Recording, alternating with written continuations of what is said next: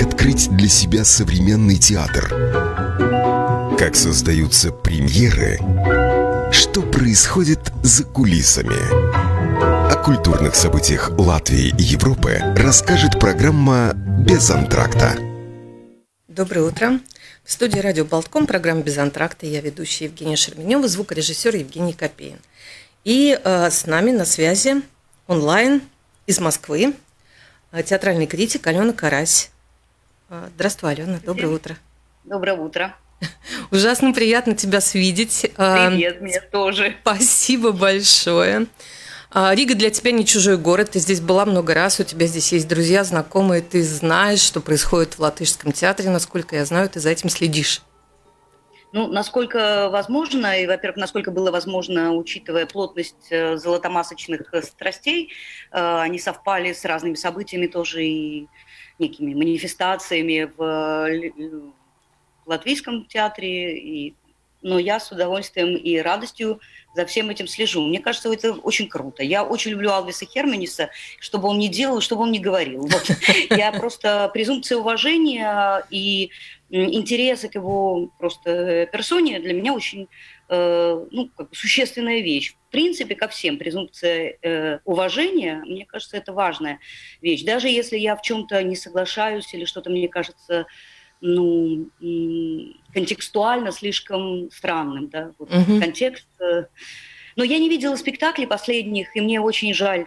Я мечтаю когда-нибудь ну, все это восполнить. Да, мы тоже мечтаем, потому что уже вот с конца октября э, практически театры не работают в Латвии и в Литве с ноября, и мы все находимся вне, вне контекста действительного, потому что все, что происходит, происходит иногда онлайн, но э, за прошлый год все тоже немножко устали от онлайна. И все, сейчас все ждут, конечно, тепла лета э, в надежде, что все-таки летом можно будет что-то делать на улицах хотя бы какие-то фестивали, может быть, какие-то показы. Ну да, я не знаю, насколько вы включены вот в это движение потрясающее, которое началось в эстонском театре, когда они там, ну вот эти летние, э, практика летних выездов. Угу. Там потрясающе, это просто, не знаю, что получится у них в этом году, но это просто дало возможность, давало возможность и зарабатывать деньги, и расширять вообще рамки сезона. Это прямо вот здорово. Угу. Ну, повезет. в Латвии прекрасный, да, в Латвии прекрасный фестиваль есть летом в августе в Алмере. Это три дня такой да, да, да. большой праздник.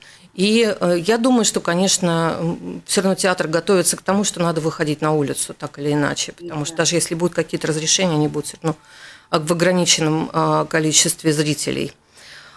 Алена, а, тем не менее, в Москве все работает. Театры открыты э, в разных российских городах с разными условиями, но в принципе все работает. И золотая маска в этом году прошла в установленные сроки.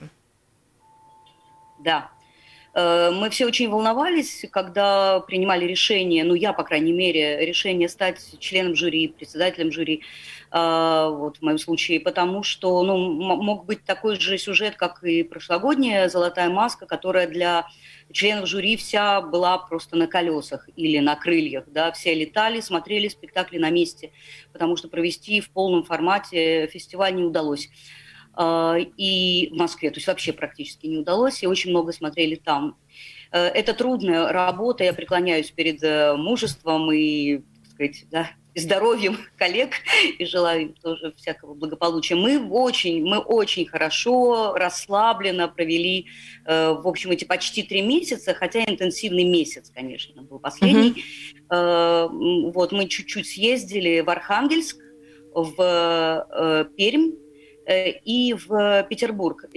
Именно потому, что условия спектакля не позволяли привести их, э, технические условия, да, и всяческие. Вот, например, лауреат э, фестиваля «Золотая маска» в номинации «Эксперимент» «Человек в маске», да, и спектакль под названием «Человек в маске», эм, он просто, его нельзя сделать, он сайт-специфик до такой степени. Его можно, конечно, придумать и сделать на московских э, ландшафтах московских, но это отдельный спектакль и отдельная работа. А эта работа, связанная с... Теперь я знаю точно, в чем разница между граффити и стрит-артом. Вот. А также в чем э, разница между действиями ментов или полиции или, и, э, и охранников, э, сотрудников охранных предприятий, как по-разному они охотятся за графитчиками.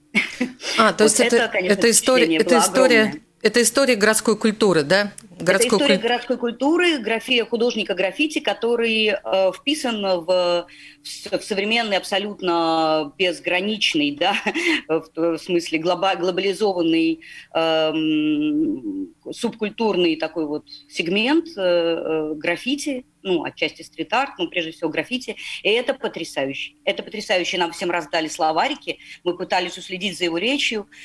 Самое поразительное, кто-то из моих коллег, я даже знаю, мне кажется, это был Вадим Щербаков, э, нет, Олег Липовецкий, который сказал, что он придумал, самое интересное, что он придумал маску, э, маску графитчика. То есть мы э, ощущали, что он каждую секунду здесь и сейчас с нами, полное присутствие.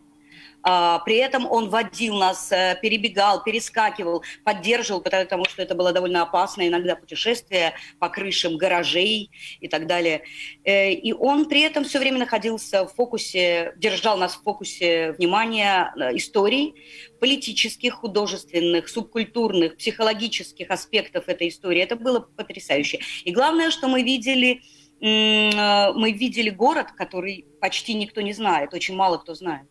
Э, он изменил нам, перенастроил оптику. Теперь я везде хожу и смотрю на крыши. Я знаю, что такое roll-up, э, roll-up и roll-down. Uh-huh. Потому что вот так они рисуют это снизу, сверху и так снизу. Uh-huh. И множество других вещей. ну вот, так что это было открытие. Это не вполне эксперимент, конечно но это полнота некого послания, которое впечатлило нас очень сильно. Это личное присутствие, экзистенциальные наши переживания, политические, человеческие, самые разные. Хорошо. А, я спрошу тебя вот о чем. Здесь э, в Латвии довольно много людей были включены в программу Russian Case в начале апреля. И многие да, любители театра, те, кто постоянно поддерживает э, программу «Золотой маски» в Латвии, э, могли посмотреть спектакли, отобранные для программы Russian Case. И я могу честно сказать, что все ну, как бы мои знакомые, которые посмотрели э, несколько спектаклей, были страшно рады двум наградам. Следили потом за вручением на церемонии премии «Золотая маска» и были страшно рады двум наградам. Это спектакль Андрея Могучего «Сказка про последнего ангела», который получил приз за лучший спектакль в драме, и э, Тимофей Трибунцев, который получил э, приз за лучшую мужскую роль, потому что тут вот за эти два названия очень сильно болели.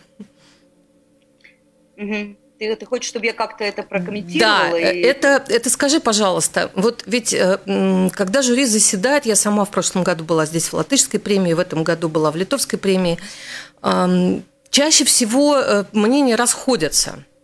Насколько здесь э, вот этот выбор, раз он так совпал с ожиданиями людей, которые видели спектакли здесь, мне просто интересно, насколько это совпадало. Насколько он был очевиден, этот выбор, насколько он был эм, не конфликтный внутри жюри. Вот этих двух, двух, двух номинаций. Да, это это самое, э, э, как бы внутреннее, действительно, премии для людей снаружи все более-менее равноценны. Но для нас, э, кто работал в жюри, есть как бы большие премии, меньшие премии, в том смысле, что действительно премии, по поводу которых мы не сомневались или, были, или почти не сомневались, были единодушны, и там, где мнения разделились, что тоже естественно. Интересно, что вот в обоих этих случаях с главными номинациями, в общем, были как сказать, были, была сложность выбора, объективная да? сложность выбора, потому что эм, э, я видела спектакль на премьере, была захвачена им полностью. Все члены жюри смотрели его спустя год, почти что и я тоже, э, и спектакль шел не, не так ярко. И э, это на многих повлияло, это впечатление, хотя все прекрасно сознавали его бы, яркость, фантазийность, его красоту, ну и некоторые проблемы с драматургией. Э, безусловно, для всех был ансамбль. Мы даже думали, как его выделить, но все-таки решили mm-hmm. уже не, не, не делить спектакль на всякие нюансы, а просто дать ему объективно заслуженную награду. Э, но актеры, именно то, как Андрей Могучий работает с актерами, это впечатлило всех, безусловно, и вне всяких споров. Вот. А что касается лучшей мужской э, роли, то тоже был конкурент, довольно сильный. Угу. В итоге, конечно, все равно вот эта несомненная фантастическая работа Трибунцева сработала, но так как в этот раз, я не знаю, какой вы видели спектакль, живой или еще с Михаилом Филипповым в записи? С Михаилом Филипповым в записи. Это очень серьезная важная вещь, потому что в основном члены жюри видели его с Дмитрием Быковым, потому что Филиппов болел, к сожалению. Угу. И они видели в основном с Быковым, который яркая фигура, грандиозная, но он сильный дисбаланс тоже, возможно, создал. Э, так что какие-то тоже перяз... были там перемены вот эта жизнь э, фестиваля. Но это жизнь театра вообще, который меняется. Жизнь от... театра да, вообще, да. который меняется каждую секунду. И в этом смысле действительно мы в неравных позициях. Критики, которые смотрят спектакли во время премьер, и жюри, которые смотрят его, в общем, во время э, фестивальных показов, год, да. Во время фестиваля, это важно. Конкурентом у Трибунцева, который очень потрясающе формулировали э, мои уважаемые коллеги, э, формулировали свои пристрастия и мотивировки. Почему именно они считают, что та или иная роль важна. Про Трибунцева очень красиво. Во-первых, очень красиво Саша, эм, ну, знаете, э, эм, Александр Новиков, блестящий актер, его не надо представлять, актер театра на литей, э, театра Ленсовета, простите, в Петербурге, uh-huh. и киноактер знаменитый. Э, он блестяще сформулировал в Фейсбуке на своей страничке, я не буду сейчас пересказывать, очень тонко всю эту противоречие, парадоксальную суть работы Трибунцева э, прекрасно описал. Но было очень много поклонников, в том числе я, а, потому что я не видела этого спектакля, очень ждала его. Это была а, работа в режиссуре Яна Фабра, по дневникам Яна Фабра, угу. которую сыграл прекрасный э, петербургский актер Андрей Фиськов да, вот «Ночной писатель» назывался uh-huh. спектакль, uh-huh. и это виртуозная работа, виртуозная, и в ней есть свои тоже ограничения, может быть, она была слишком механистична, кому-то показалось, но она виртуозна. И я была большой э, поклонницей этой работы. Но я хочу сказать, что у нас, э, э, слушателей радио Болтком, есть возможность увидеть этот спектакль, может быть, летом, когда все откроется, или, может быть, осенью, но я говорю не про Санкт версию в Санкт-Петербурге в БДТ, а Ян ага. Фабер в прошлом году осенью приезжал в Вильнюс и сделал в Национальном театре тоже версию «Ночного писателя» с актером Мартинесом Недзинскосом. А, если ты смотрела «Чайку» Коршуноваса, он да, играл... Конечно, да. Он играл Тригорина, помнишь, молодого Совершенно совсем. Верно. Сейчас да. он уже повзрослел. Сейчас он повзрослел и играет вот этот спектакль у Фабра в Вильнюсе, потому что Фабр, в общем, адаптирует этот спектакль к разным странам, да. играет его на разных языках и делает его с разными актерами. Вот я надеюсь, что будет возможность это увидеть. Так что ночной писатель Фабра. Да, он был тоже один из эм, таких э, фаворитов угу. Жюри. Но, Хотя он но играет ведь... Жюри, премия, премия, там невозможно. И самое интересное, что когда спектакль, если он номинирован в нескольких номинациях, э, если он доходит э, по одной из них до самого топа, да, угу. то он лишается и не получает в итоге, да, в итоге выбора, то он лишается возможности в других номинациях да, то есть мы же, в общем, мы ведь, конечно, делали какой-то расклад и пытались э, сложить некий пассианс, но это невозможно, было очень много свободного выбора, э, тайного голосования и так далее, и, ну, так. Скажи, пожалуйста, вот я посмотрела результаты. Мы сейчас говорим, конечно, про драму в первую очередь, потому что мы говорим с тобой, кто был председателем жюри э, в номинациях драмы и кукольный театр, театр кукол я когда посмотрела вот этот список лауреатов в результате, потому что когда смотришь церемонию, ну там как ты переживаешь за кого-то, кого видела, или за кого давно уже переживаешь, и кажется, что весь вот этот путь, который там актер, например, тот же Трибунцев сделал, он привел его вот в эту точку, в которой, например, для меня ну, не было конкурентов, но я не видела ночного писателя. Понятно, я не, не могу сравнивать. Конкурентов да, но мне кажется, что когда ты смотришь вот этот результат э, лауреатский, да, список лауреатов, ты понимаешь, в общем, что э, есть, складывается из этого определенная картина вообще состояния театра в настоящий момент. А, названия театров, которые участвуют в этом списке, имена актеров, которые там есть, режиссеров, которые так или иначе причастны к номинациям. Да, если мы говорим о Дмитрии Крымове, который поставил и сделал спектакль «Борис», с Тимофеем Трибунцевым, так или иначе это все все равно соединяется, объединяется, и ты понимаешь вот эту вот картину, как ты говоришь, пазл, мозаику, из которой состоит, э, из которой состоит нынешний актуальный театр. На, насколько, а... насколько это правда отвечает, вот на твой взгляд? Э, это, это отвечает, безусловно. Э, хотя, знаете, как бы, ну, самое сложное всегда самое радостное открывать э, или, по крайней мере, выдвигать на первые позиции тех, кто стоял в тени где-то, э, направлять свет, да, прожектора как бы в эту сторону. Эм, и самое всегда сомнительное направлять в ту сторону, в которой он уже много раз э, находился, и, и так хорошо освещено это место. И, конечно, э, то, что, э, допустим, Юрий Бутусов получает награду, вот он получил как лучший режиссер, это как будто бы для всех было более или менее ожидаемо, и в этом смысле Э, некое разочарование многих э, постигло, может быть, его самого, потому что спектакль э, не был награжден уже какое-то время, по-моему, его спектакли не получали золотую маску, зато лучшим режиссером он был уже неоднократно. Вот какой-то парадокс с этим связанный. Мне кажется, что просто объективно говоря, да, Бутусов – ну, просто такой вот стал глыбой. Да? Uh-huh. У нас и, и она стоит, эта глыба. Как бы с ней не, кто не хотел что-то там сделать или как бы к ней не относился, она просто есть. И то, что в жюри разные точки зрения были на, это, на этого вопроса, и еще больше в публике, да, в театральной, это же прекрасно. Мы видели напряженный, энергетически наполненный спектакль с колоссальным количеством публики, который этот четырехчасовой марафон, в общем, в котором не так все просто сходится. Тем не менее, смотрели на одном дыхании и аплодировали стоя. Ну, это вахтанговский такой вот... Э, это Пергюнт, да? Это, это Пергюнт, это премьера. Просто потрясающе. Мы думаем, что это очень трудный текст объективно. Да, там прекрасные актеры. Они, конечно, много поют, как всегда у Бутусова, и даже громко поют, как это тоже обычно бывает, но все-таки это очень сложная история. Меня поразило, что он взял перевод Балтрушайтис я не знала о существовании перевода Юргиса Бултрушайтиса Пергюнта, увы. И этот перевод меня абсолютно тронул, потому что он был сделан, кажется, в районе 14 года, кажется, уже началась Первая мировая война. Он дико русифицирован, то есть там много русских поговорок, каких-то обстоятельств. Э, и он поэтому очень э, наш, Угу. В нем нет абстрактности какой-то, да, поэтической, метафизической, философской, а он невероятно такой вот э, э вписан в актуальный ландшафт э, русской истории э, начала 20 века.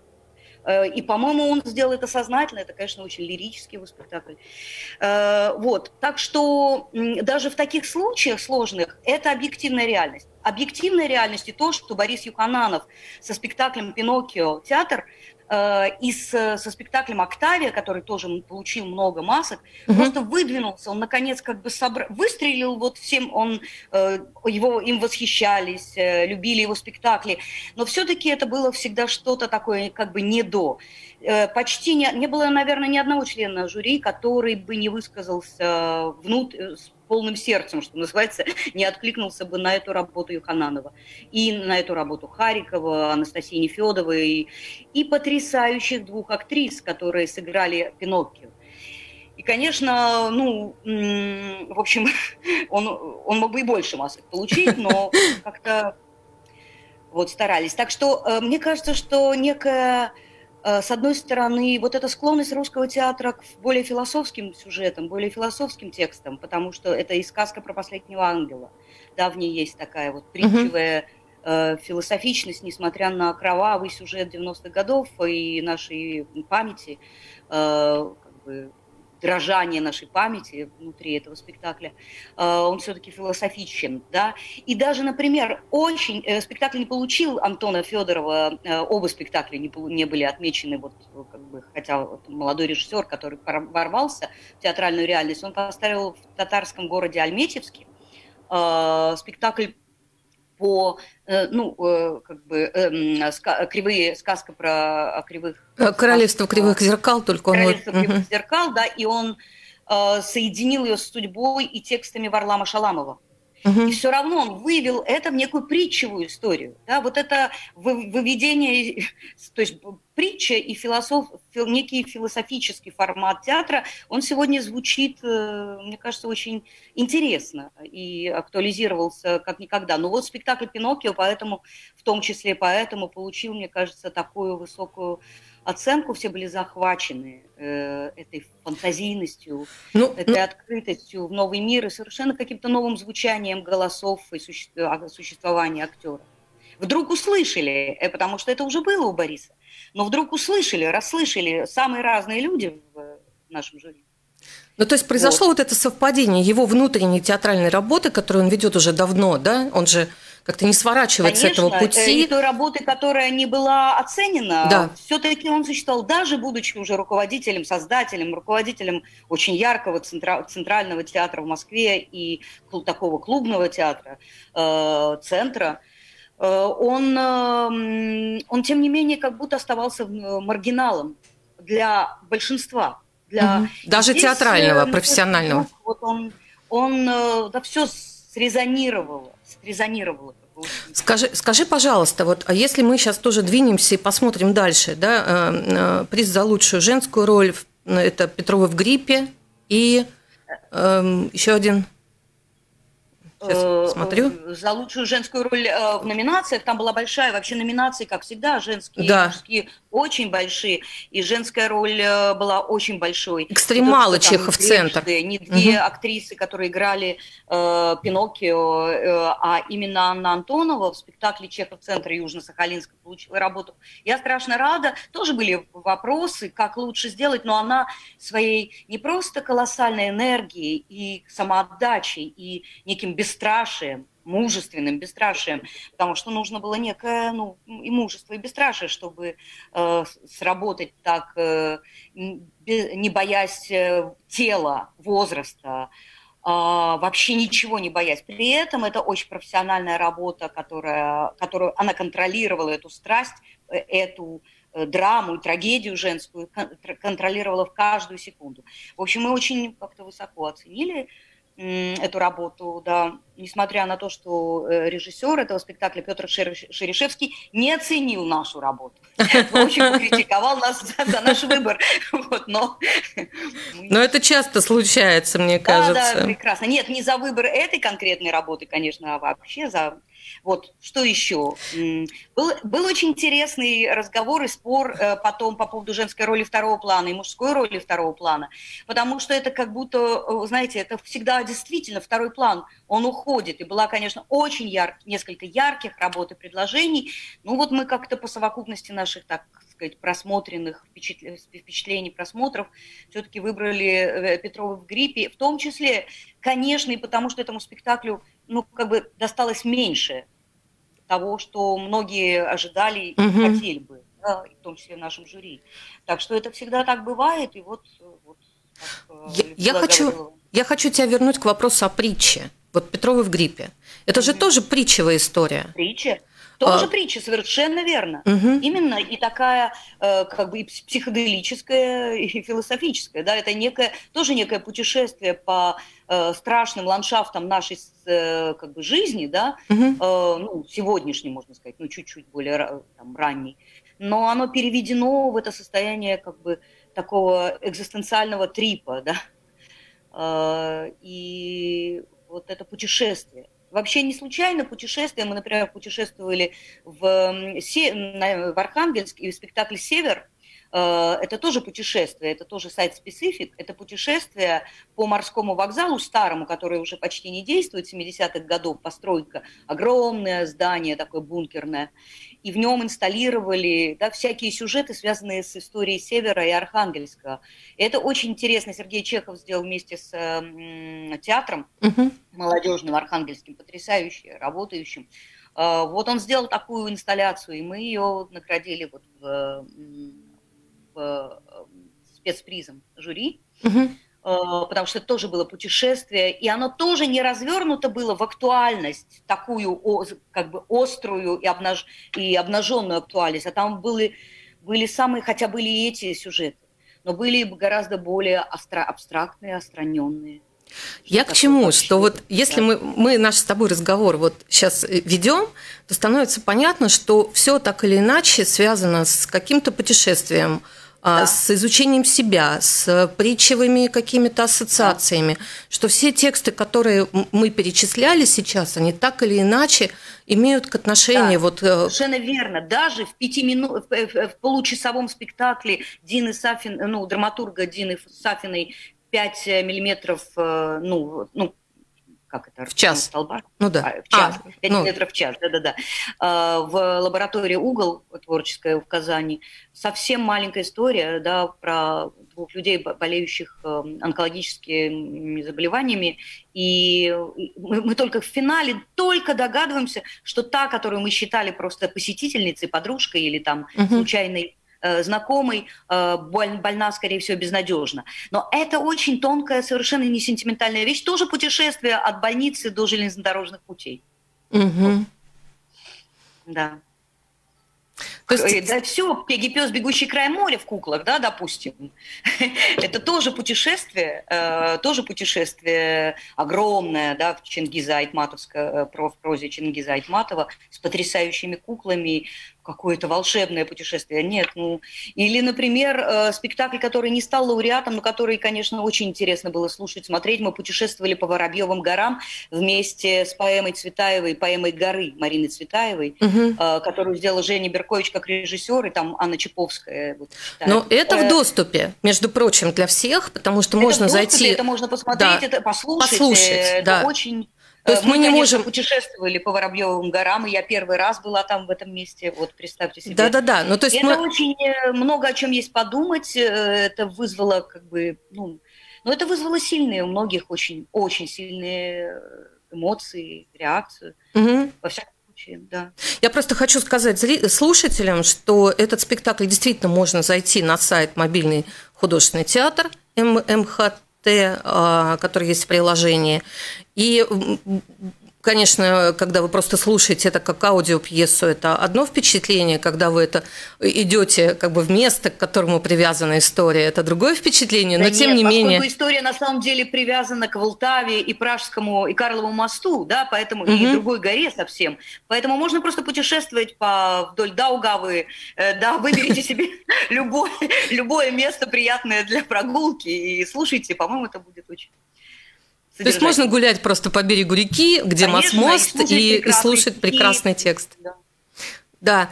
Скажи, пожалуйста, Алена, а, какие новые имена, а, на, на кого надо обратить внимание вот из новых имен? Ты назвала а, Антона Федорова, да?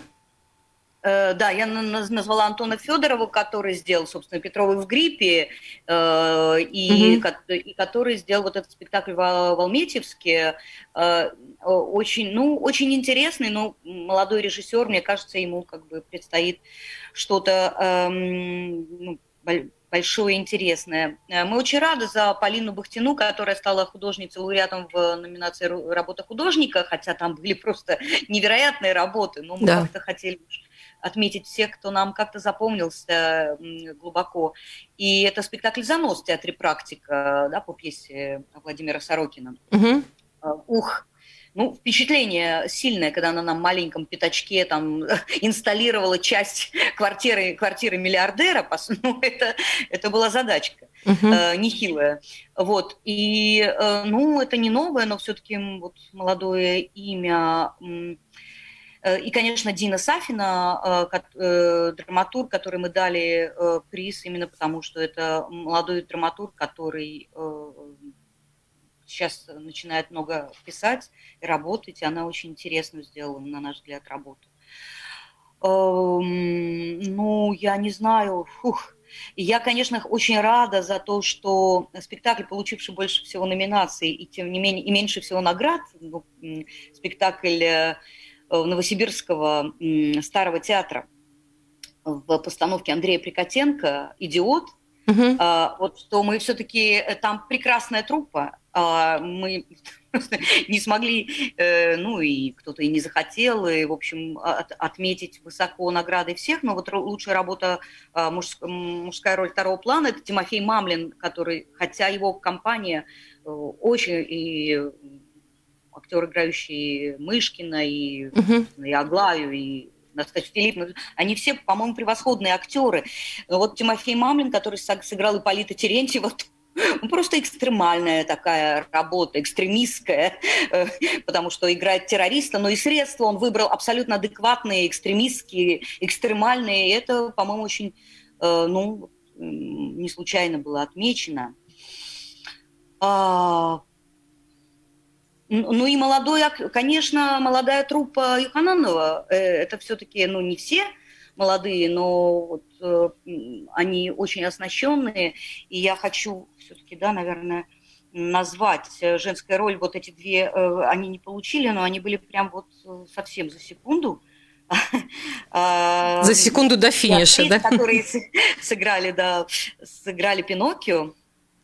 Э, Мария Беляева, Светлана Найденова uh-huh. да, в Пиноккио. И вообще у него очень интересно. Этот, этот способ существования, который долго не был оценен и, может быть, и не будет. Э, может быть, он не войдет в резонанс такой вот широкой общественностью, а может быть и войдет. И, может быть, эта награда даст шанс публике и театральной общественности расслышать то, что она не слышала раньше. Uh-huh. В частности, вот этот именно способ существования в метафизическом театре, в, в, в таком философическом театре. Над бытовом, в, да, таком? Даже в религиозном театре. Вне бытовом абсолютно, да, существование? Да, вне бытовом и развернутом вот в такую не, неочевидную актуальность. Угу. Неочевидную, но актуальность.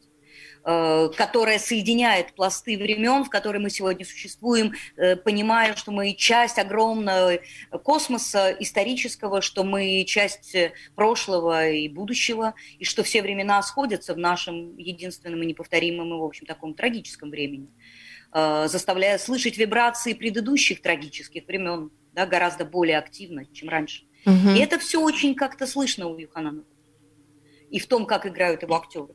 Э, но не только. Ну вот, наверное, так. Ну, скажи, ведь в сказке о последнем ангеле тоже про последнего ангела, э, тоже молодая совсем труппа. Безусловно, вот весь ансамбль и то, как существуют э, э выдвинутые в номинации Пускипалис, Глеб Пускипалис, угу. но его товарищи э, совершенно прекрасные, они не были номинированы, но мне кажется, очень несправедливо, потому что там э, и близнецы играют. Я сейчас вот волнуюсь из торопясь, боюсь ошибиться, да. Вообще, да, они все великолепные, они существуют в этой странной, тоже такой, как Пиноккио, актриса, играющая Пиноккио, такая остраненность, прекрасная, как бы нулева, ноль позиция, сказал бы Миша Угаров, царство ему uh-huh. небесное. Uh-huh. Некой, да, остраненности и включенности. Вот такая парадоксальная игра, которая становится, мне кажется, очень ну вот я хочу сказать, что я видела сказку про последнего ангела тоже в записи. А, запись, конечно, была сделана прекрасно. А, то есть ну, это еще производит дополнительное впечатление да. от качества записи. И я как раз обратила внимание, думаю, потрясающая актерская труппа, которая кажется, что это люди пришли с улицы просто, зашли да, на сцену. Андрей работает с ними великолепно. Я смотрела спектакль с Сашей Феклистовым, Александром Феклистовым который сейчас сыграл у Крымова, кстати. Вот, все э, тут. Все тут, угу. спектакле «Все тут». Он был заворожен вместе с... Он говорил, как актер, говорит, а, а как бы я мечтал. То есть видно, как режиссер работает с актерами. Это действительно нужно добиться такого. Да, такого, такого э, как бы профессионализма, который снимает э, все внешние признаки профессии. Да. Да. Да? Да. Это тоже, да. Хотя театр такой широкий сегодня, что наоборот, допустим, или там, я не знаю, и, конечно, Бутусов в Пергюнте, и Юхананов э, по-своему обна- выделяют, то есть там, да, вот это некие, некое совершенство, в котором работают актеры, uh-huh. как, да, э, они вроде делают акцент на профессионализме, но это другой какой-то профессионализм. Ну, у Бориса, э, по крайней мере, тоже такой такой легкий, легкий, по-легкому. Угу. Да. Хорошо, Алена, э, ужасно хочется, чтобы ты приехала, посмотрела, когда все откроется, что происходит да. здесь, и тоже э, поговорили бы мы с тобой о новых именах, которые я бы хотела для тебя, например, открыть. Э, потому что э, при всем уважении к нашему коллеге, доброму и давнему другу э, Алвису Херманису, э, здесь очень много э, совсем новых и очень интересных э, имен и людей и актеров совсем юных, и мне кажется, что это очень интересно для, себя, для тебя было бы тоже. А, спасибо тебе, что ты поговорила и рассказала. Я думаю, что это важно, потому что программа «Золотая маска» в Латвии, она все-таки планирует быть проведенной. В прошлом году она была вынуждена свернуться и не показывать спектакли. Сейчас мы все в надежде, что мы увидим все-таки что-то и несмотря на то, что там перенесены какие-то спектакли с прошлого года, все равно, может быть, что-то новое появится, и мы что-то увидим. И тем не менее, те имена, которые мы с тобой сегодня назвали, перспективе будем ждать. И если вдруг кто-то поедет в Петербург или в Москву, знаете, что смотреть заранее, покупайте билеты. Да. И... Я всем желаю нам открытого, открытого, наконец, мира, открытых границ – Э, и возможности ходить, видеть, смотреть, играть. Пусть это будет у всех, пусть у нас это не кончится, а у вас начнется. Э, ну и пусть будет, наконец. И пусть будет театр. И пусть будет театр, который есть свобода. Да-да-да. Точка свободы. Хорошо, Алена, спасибо большое. Привет Москве. Спасибо. Спасибо. Счастливо. Радио Болткома.